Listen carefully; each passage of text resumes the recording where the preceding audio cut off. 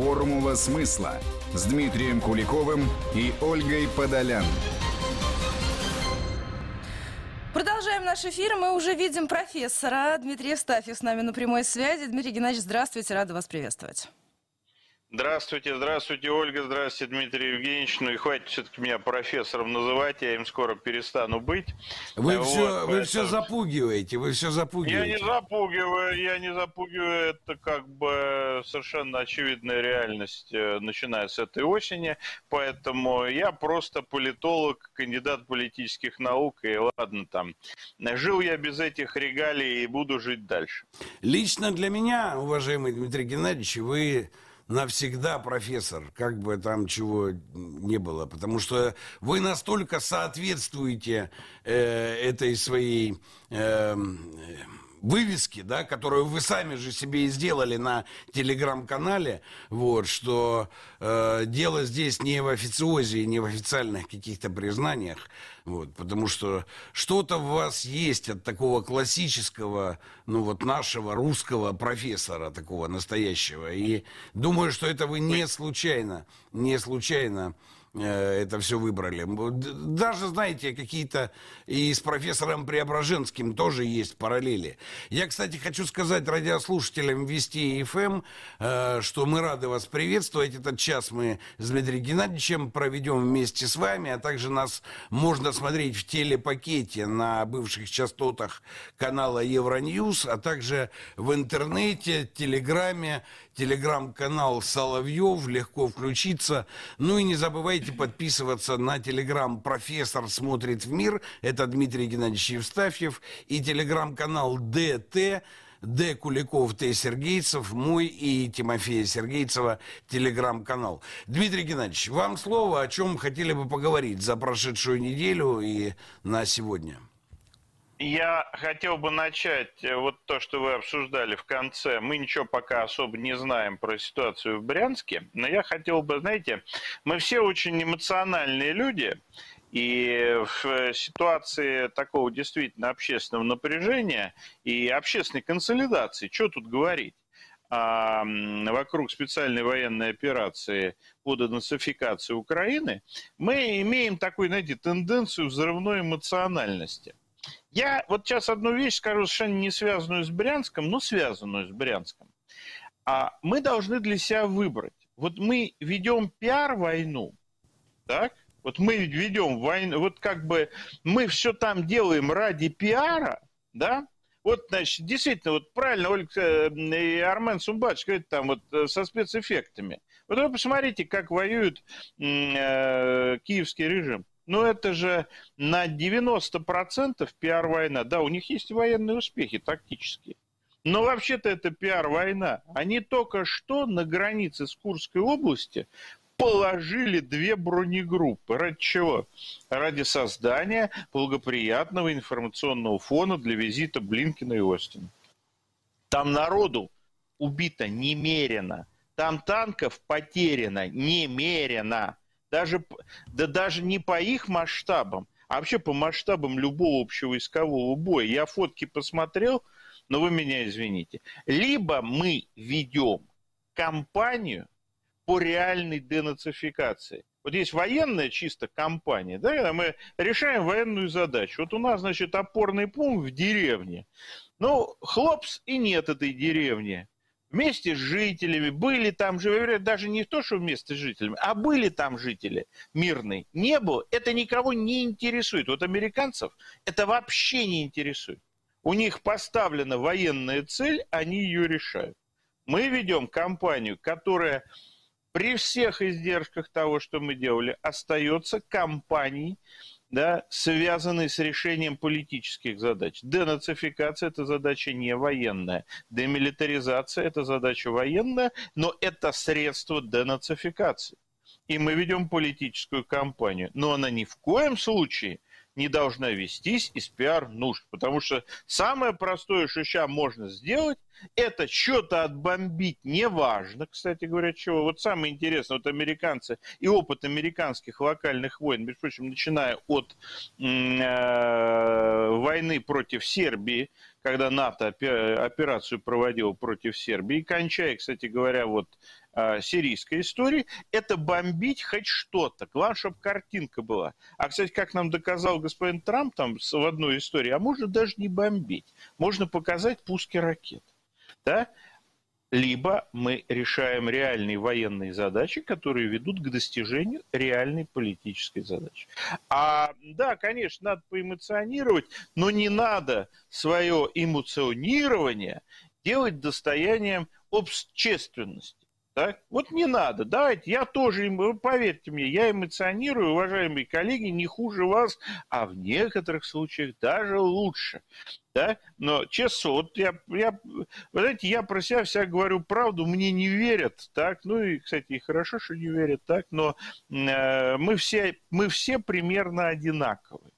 Так, у нас есть наши замечательные вот очень важный, кстати говоря, для нас в социоэтническо-религиозном плане компонент, это вот наши, знаете, буддисты такие, вот они вот поспокойнее, чем мы, так?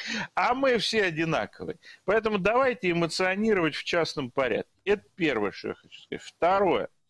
Ну, давайте тоже честно скажем. У нас редко что получается прям вот сходу, прям вот-вот. Ну давайте вот только честно, вот знаете, я все время читаю, я предпочитаю читать критиков того, что происходит. Вообще, вот они все критикуют, у них все плохо. Так, э, не ссорились с Западом, плохо, ссоримся с Западом, плохо. Э, значит, э, они только что требовали перевести в евро, да, все, все золотовалютные запасы. Перевели, у нас их отняли, сейчас они требуют перевести все в юани. Да, ну смешные ребята. Но вот бывает. Вот я их читаю, потому что м- читать людей, которые э, ну, как бы, что называется, критикуют умеренно, иногда, ну, бывает тоже важно, но не очень интересно. А вот критиков читать очень интересно. Кстати говоря, я читаю очень интересно украинские некоторые паблики, там тоже очень забавно все. Очень забавно. Так? Вот. Так я вам скажу, что даже очень большие критики начинают признавать, что в нашей компании появилась не просто военная, она всегда была военная, так, что бы там кто ни говорил, а в нашей появилась геоэкономическая логика. То есть эта компания осмысленная, это не компания ради того, чтобы выбить нацистов из очередного населенного пункта. Это компания для того, чтобы решить геоэкономические задачи и России, и Евразии в целом и, Укра... и создать условия для того, чтобы украинский народ так, а, смог действительно сказать, а чего он-то хочет. Вот меня, кстати говоря, жутко возмущает, э, э, когда у нас кто-то пишет, знаете, такие вот очень патриотические э, блогеры, так, значит, они вот пишут, а как так, мы говорим, когда у нас там начальство наше скажет, что судьбу Украины должен решать украинский народ. И тут такое, знаете, буря возмущения, как? Ребят, кто ее должен решать? Кто решает судьбу России как государства? Ну, национальный, по-моему, народ Российской Федерации. Кто решает судьбу, кто должен решать судьбу Украины? Ну, кто, кроме украинского народа, может решить судьбу Украины? Но если Украина решила самоубиться, но это должен решить ни Блинкин, ни Остин, не простите за грубое русское слово президент Польши Дуда, это одно слово, так? Вот. Это должен решать украинский народ, но ему надо показать альтернативу. Вот все, что мы сейчас делаем, мы показываем украинскому народу альтернативу, и что-то мне подсказывает, но, Дмитрий Евгеньевич, вы, собственно говоря, Украину знаете лучше. Я как в свое время, это был очень, это было 30 лет назад, я от Украины, от Украины отстранился. Так? Вот, вы это знаете, конечно, много лучше, чем я, а, но, по-моему, э, очень значительной части, если не больше украинского народа нравится та альтернатива, которую мы показываем, если судить по Мелитополю, если судить по, извините, Херсону, если следить по Бердянску, там, там поначалу тоже скакали, а потом посмотрели, а что скакать-то? А что скакать? Да? И говорят, куда скакать? А я вам сейчас жуткую вещь скажу. Вот ровно все то же самое, да, будет в Запорожье, будет в Кривом Роге, да еще много где будет. В Николаеве также будет. Да? Мы показываем альтернативу, но решать должен исключительно украинский народ. И как он решит, как будет? Захочет там Таврическую губернию? Ну а что? Кто мы, чтобы противостоять воле украинского народа? Захочет там Таврическую Народную Республику. Захочет Малороссию, пожалуйста. Да, ну вот. Ну они же захотели себе КВНщика. Ну, ну да. за, только, ну, только да. есть нюанс, только есть нюанс. За любой свой выбор, это, кстати, нас тоже касается, надо нести ответственность. Любой свой выбор надо нести ответственность. И вторым элементом свободы выбора при наличии альтернативы для любой страны, для любой освобожденной территории является ответственность. Но если уж вы выбрали, все, ребят, работайте в этом направлении, не открещивайтесь. А то я что-то смотрю, вот я, я же, вы знаете, я э, эти всякую аналитику читаю мало, смотрю видеофрагменты. Как кто в плен попадешь, он исколот, как синяк там с зоны 30 лет. Ну, только, конечно, эти нациковские всякие зиги-зиги, да? А повар или плотник, да? Самое страшное водитель. Сам, да, ну, да, самое мощное. Какие что-то я пока не, э, пока крайне мало артиллеристов, и, по-моему, ни одного ни снайпера, ни ракет. Танкисты вообще какая-то редкость. Кто ж там на танках-то ездил? А это принцип безответственности. Да? Когда ты пошел чуть-чуть баблишко срубить в АТО, а потом страшно стало, а потом вдруг тебя птур попал и башню на, на там один случай есть, метров на 80 башню оторвало у Т-64, этого знаменитого харьковского танка. Слава тебе, Господи, что нашлись в Советском Союзе умные люди, которые не сделали его единственным. Да? Вот. И сразу стало страшно. И сразу, и сразу ты стал поваром. Ух ты! А что, так можно было? Это первое, что я хочу сказать, как говорится, непрофильно. И второе, что я хочу сказать, непрофильно. Я, вы знаете, вы знаете мои нежные чувства к Мари Ле Пен.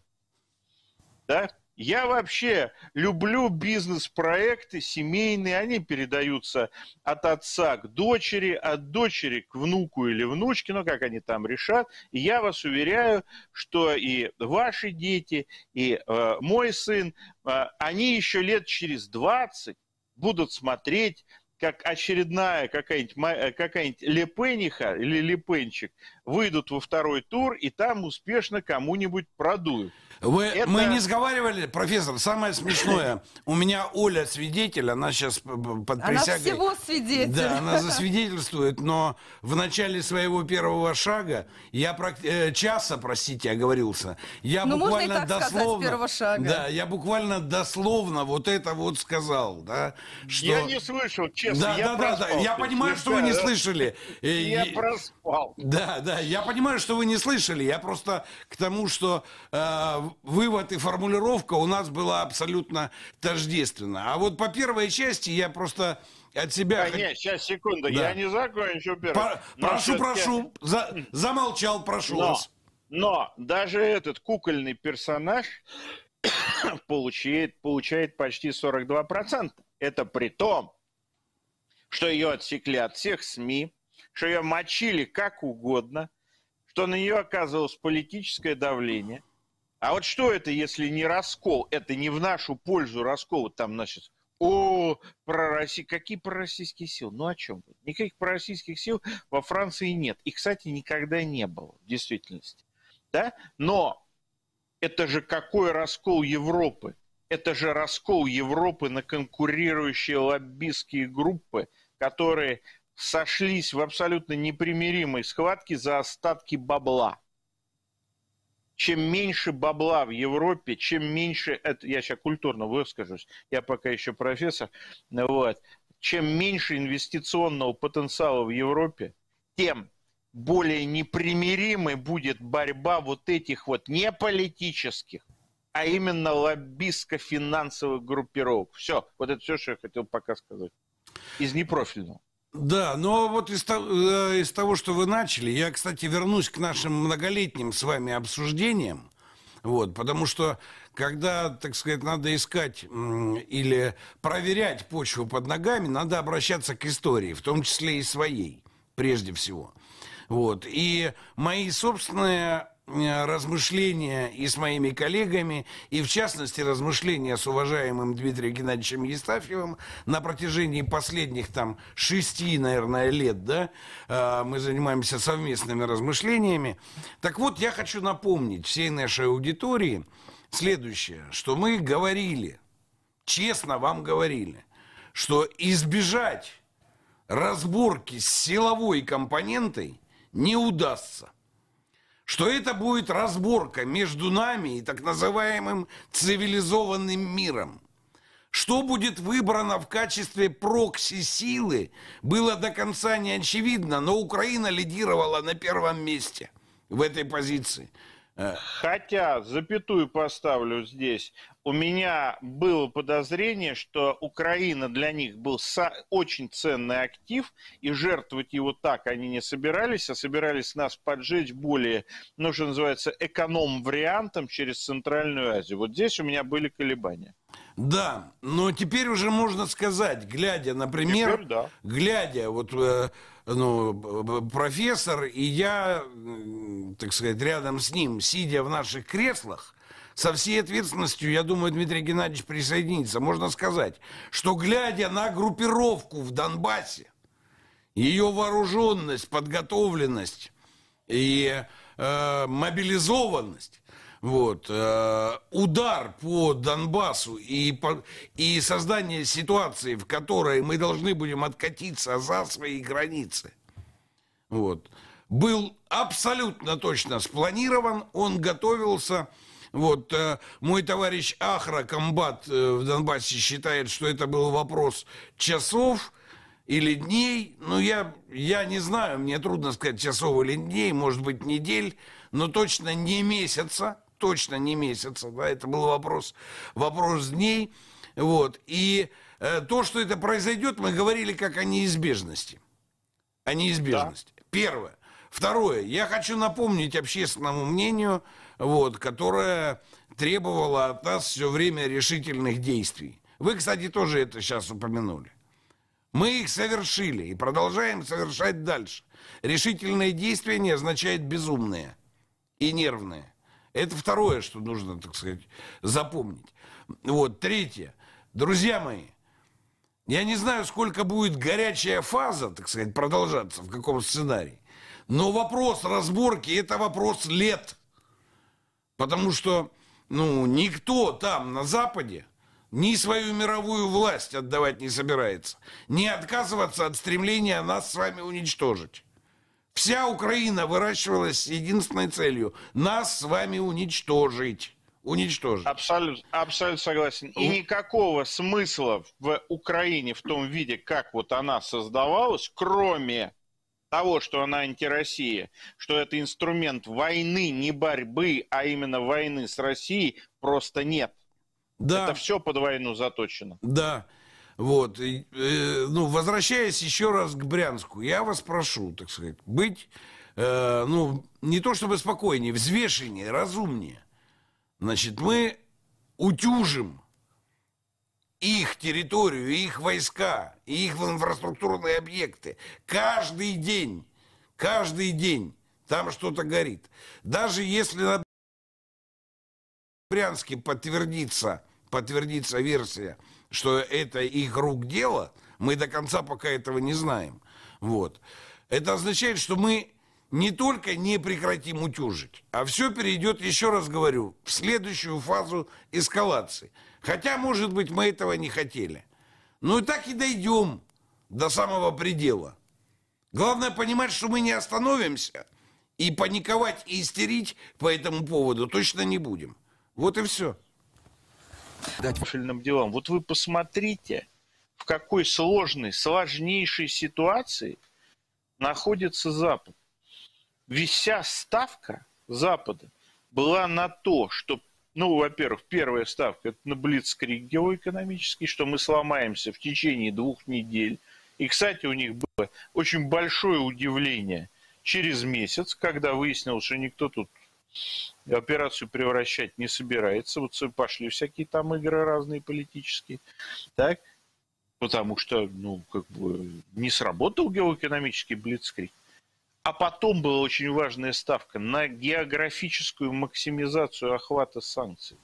Подключить Индию, заставить полностью Китай – включиться в санкции. Китай занимает очень такую, знаете, сложную позицию, но тем не менее Китай в санкции не включился. Как бы это не хотелось американцам, как бы они китайцев не давили, и как бы в, во взаимодействии с США прежде всего и в сохранении позиции Европе не были бы заинтересованы крупнейшие китайские компании. Но помимо крупнейших китайских компаний, есть компании, названия которых мы даже не знаем.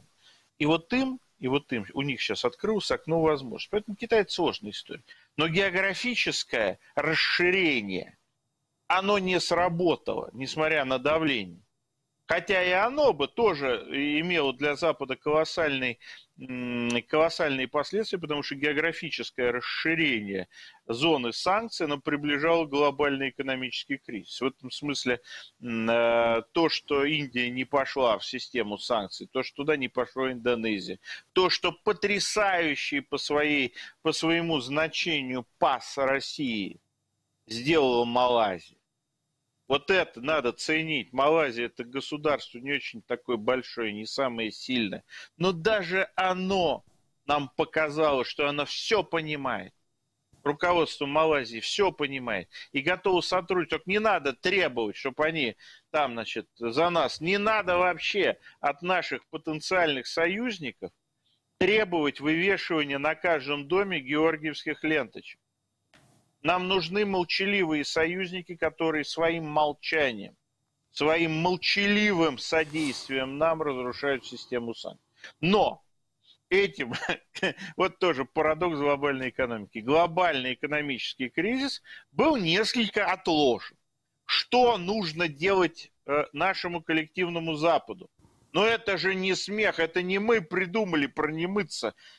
Все думают, что это наша пропаганда про немыться да, и проснизить это, значит, а, не мойтесь, это будет удар по Путину. Но это не мы придумали. Им надо либо углублять санкции, а это страшно, потому что все понимают, что такое перспектива деиндустриализации э, Германии. Кстати, замечательную фразу сказал господин Макрон в выборной речи. Какой державой будет Франция при втором Э, значит, э, э, сроки Макрона. Кстати, это, по-моему, какой это? Первый за последние много лет президент Франции, которого такие брали, не... второй да. президент Франции, которого такие Ширака не... второй да, срок. после Ширака да, первый. Шира... после Ширака первый. Да, а это было очень давно. Вот. А, я еще не был профессор. Так вот, он говорит, мы будем великой экологической державой. Читайте между строк он внутренне уже допускает деиндустриализацию Франции. Но деиндустриализация Франции – это не такая страшная вещь для Европы. А вот деиндустриализация Германии – это хана. И, кстати, вот тут вот с вами поспорю, э, уважаемые коллеги, уважаемые Ольга, дело не в предметах роскоши, даже не в Мерседес. Это нам все показывали, этот бундешафт машин, да, значит, что это Мерседес, Volkswagen. Основой всего, что у них есть, это две вещи. В Германии, я имею в виду. Это химия, причем высочайшего уровня. Да? И это энергетическое машиностроение. Химия. Ну, считайте, что химии к концу года в Германии не будет. Концерн БАС стоит на грани банкротства. Да? А второе энергетическое машиностроение и так находилось в дикой конкуренции с британцами, Rolls-Royce, так, и э, с американцами. Ну и что? Американцы сейчас красиво снимают с доски вот это замечательное германское энергетическое машиностроение. Его просто не будет. А дальше, а дальше вопрос, во что превращается, во что превращается Европа. Все очень просто. Она превращается в музей с элементами дегустации вин и суров. Крупнейший экологический союз. Конечно. И это парадигма, которую очень неслучайный для европейской политики человек по имени Макрон начнет сейчас продвигать. Ну, во-первых, мы так должны честно так сказать, посмотреть на это издаля со своей голубятни и сказать, а нам вон оно надо? Вот нам надо стратегическое партнерство с залом для дегустации вин и сыров. У нас он свои, вы знаете, Уж вот, э, кстати говоря, к вопросу о том, что дорогу осилит идущий. Я помню главный, э, один из таких, знаете, главный обывательский крик образца 2014 года по отношению к, вот после воссоединения с Крымом, там санкции. Мы все умрем, у нас не будет сыра. Прошло 8 лет. Вот вы меня извините, у нас много проблем. У нас проблемы там с какими-то садушками, у нас, значит, с этим проблемы. Тут, значит, нам эту туалетную бумагу отрубили. Да? Но вот с чем у нас точно нет проблем, это с сыром. Он есть. Э, любой, на любые деньги, на любой вкус. Вот что хочешь есть. Дорогу осилит идущий. Ну, отрезали вам – Э, какие-то вещи. Это надо просто сделать, и все. Мы все в действительности можем. Но вопрос заключается в том, что Европа, вообще коллективный Запад, и Америка тоже, дошли до определенного предела качественного углубления санкций. А географическое расширение санкций у них не вышло, это уже понятно, там уже истерика там начинается. Да, особенно, кстати, заметьте, что самая большая истерика была не по поводу Китая. Так, они были, видимо, внутренне готовы, а по поводу Индии. И теперь вопрос, ну и что ребятам делать? А вот теперь мы возвращаемся к тому, что главный инструментарий борьбы с Россией, с разрушения России, это разрушение России изнутри, разрушение общественного консенсуса, вброс разного рода тем. Вы меня извините, я не буду только вот э, фактуру. Я ее не хочу озвучивать. Я вам могу сказать, что за последние две недели я лично вижу три, три за две недели. Это очень много. Вброшенных, управляемых извне негативных информационных кампаний, направленных против нашей армии, да, против нашей политической системы, да, против общественного согласия. Три. Три. Я когда-нибудь про них напишу. Я не хочу просто сейчас называть, чтобы привлекать внимание. Они разноплановые. Но технологии их вброса были одинаковые. Технологии управления были одинаковые. Технологии натравливания одних на других были одинаковые. И некоторые персонажи, к сожалению, тоже были одинаковые они начинают переносить Запад, пере... они понимают, что на фронте они обречены. Вы знаете, там эти, кстати говоря, это понимают очень многие э, бывшие украинской ССР. У них там перемога под Херсоном, вторая перемога под Херсоном, третья перемога под Херсоном, роем окопы под Николаевым. Вот это замечательно, да? То есть перемога прям вот возьмут вот на днях, берем Херсон, обратно отбиваем, да, Бэмс, значит, уже фронт под Николаевым. У них это тоже есть. И, кстати говоря, я тогда, помните, говорил, по-моему, вы были э, тоже, что вот это вот решение э, президента и верховного главнокомандующего, даже в данном случае не президента, а именно верховного главнокомандующего, о том, чтобы не штурмовать а, вот эти подземелья Азова, да, это очень правильно. Потому что надо посмотреть, что вот эти вот киборги будут петь из этих подземелий. И не прошло и нескольких дней, я-то думал, они неделю там героически продержатся. Они пяти дней не продержались. На четвертый день пошли вопли и сопли, которые транслируются на весь мир. Это очень правильное решение. Это очень правильная демонстрация абсолютно предательского, не античеловеческого в действительности характера режима Зеленского. Они все понимают. Они понимают, что на фронте они обречены. Они на фронте, э, там сколько этих байрактаров, не поставляя джавелинов, не поставляя, все равно обречены. Да, нам будет труднее, с этим надо в действительности думать тонкими методами, эффективными. А не вот это вот имени Кувалды Шульца, да, значит, раздолбил все, кроме э, фарфоровой статуэтки, собственно, о которой была речь. Очень надо тонкими методами здесь работать. Нам потом там еще, э, нам там потом еще это все обустраивать. Ну так, между нами. Но у них единственный шанс – это разрушить консенсус, разрушить поддержку Верховного Главнокомандующего, учинить смуту здесь. И действуют они крайне агрессивно, крайне жестко. И действуют они в рамках своей технологии кокона вранья. Что такое кокон вранья? Это освобождение от каких-либо сдержек, от каких-либо... Ну, что называется, вы можете действовать вообще без связи с реальностью. Вы можете врать неограниченно.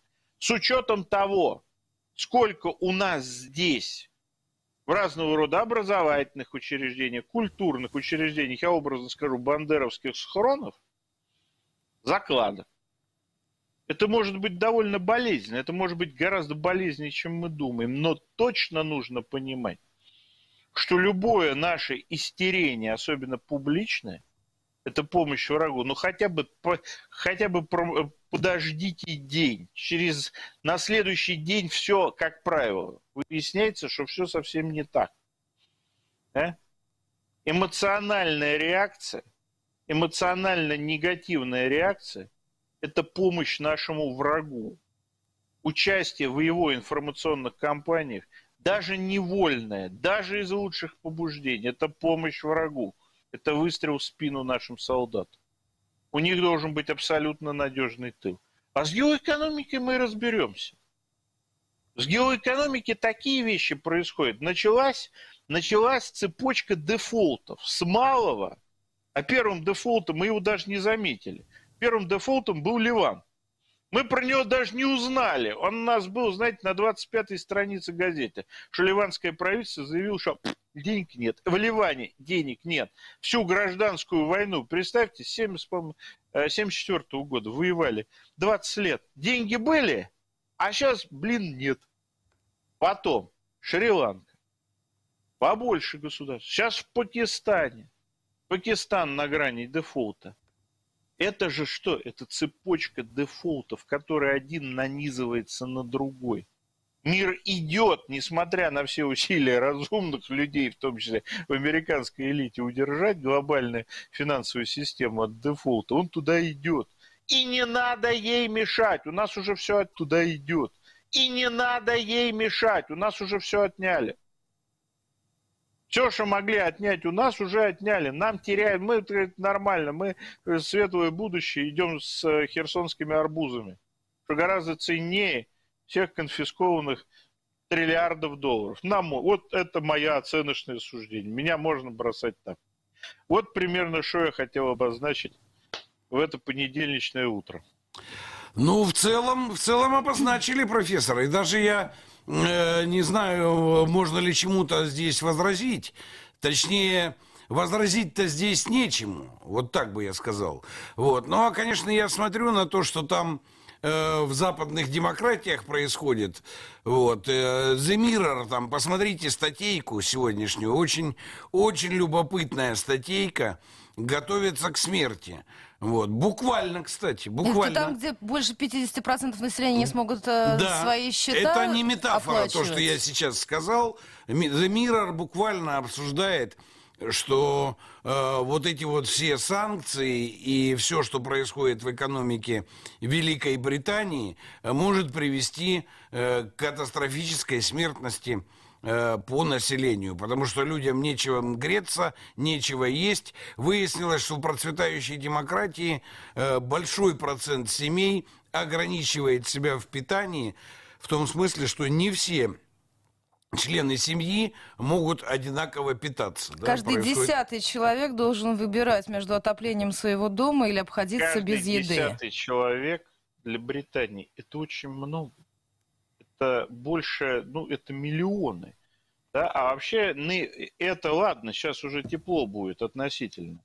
А вот страшный будет зима, осень и зима с 22 на 23 год. И в этом смысле мы вернемся к тому, что они бежали спринт, а вот нам надо бежать марафон.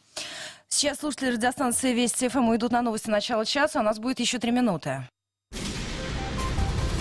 Формула смысла с Дмитрием Куликовым и Ольгой Подолян.